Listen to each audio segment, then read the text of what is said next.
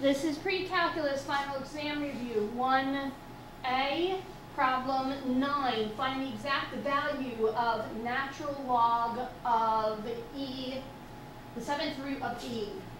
Okay, so here's what you need to know. The natural log and e to the power of are inverse operations. All right, so that means that they undo each other. All right, so I need to know what power e is being raised to. And here, the seventh root is a rational exponent, so I've got the natural log of e to the power of 1 seventh, right?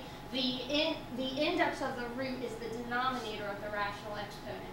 So now that I've got it written that way, natural log and e undo each other, and whatever is in the power is the answer. So I've got 1 7. That's the.